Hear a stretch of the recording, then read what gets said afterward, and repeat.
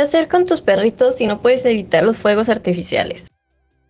¿Te gustan los fuegos artificiales? Ya están aquí las fiestas de fin de año y generalmente se convierte en sinónimo de celebración, pero también se vuelve una práctica común que en todo el país se quemen cohetes, petardos, luces, etc. Probablemente sea muy emocionante para ti y los niños que ven las luces en el cielo, pero a los perros y mascotas en general no les parece tan divertido, sino todo lo contrario. Los perros poseen un oído mucho más desarrollado que el nuestro, por lo que es muy común que experimenten ataques de pánico o ansiedad provocados por ruidos fuertes y repentinos. Algunos incluso pueden desarrollar una fobia que los lleva a comportarse de formas extremas. Cuando se asustan por algo como correr, temblar, ladrar, lloriquear, destruir cosas, esconderse en lugares peligrosos y en ciertos casos saltar por las ventanas. ¿Qué les pasa a los perros con los fuegos artificiales? Como ya lo mencionamos, los ruidos fuertes y repentinos provocan ataques de pánico en las mascotas especialmente en los perros.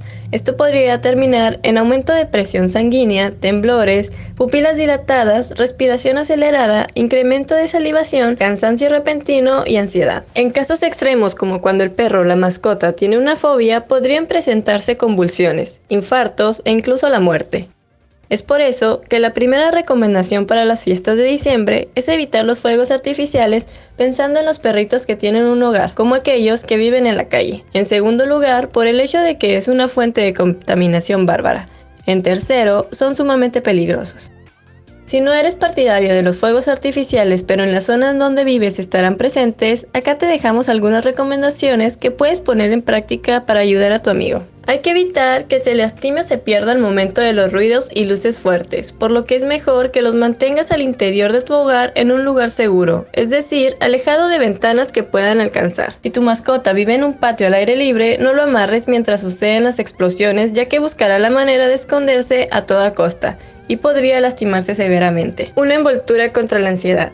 Esta técnica consiste literalmente en volver en tela por el pecho y tronco del perro para que de cierta forma se sienta protegido ante situaciones que le provocan miedo y estrés. La revista Scientific American destaca que esta manera de calmar a las mascotas no es 100% eficaz en todos los animalitos. Depende mucho de las condiciones en las que viva y el miedo que pueda desarrollar, pero vale la pena intentarlo.